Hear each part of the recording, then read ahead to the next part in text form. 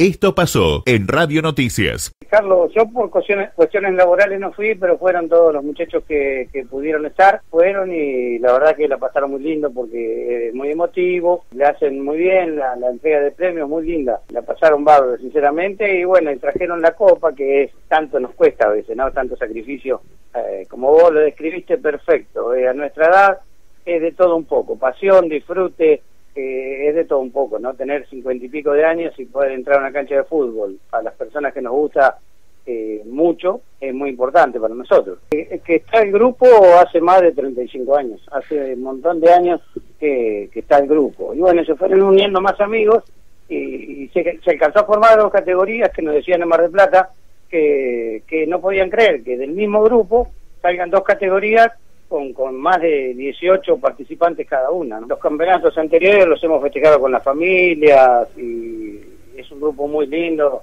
todas las familias entre sí, nos visitamos y estamos en fiestas juntos. Eh, un grupo hermoso, la verdad, un grupo muy lindo. Además, amigos que se han ido por, por cuestiones laborales a otro lado y volvieron y siguen jugando con nosotros.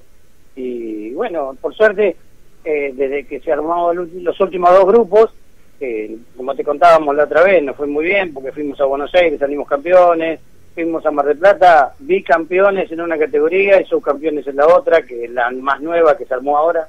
Así que nos ha ido bien y eso te motiva mucho también. Somos Radio Noticias.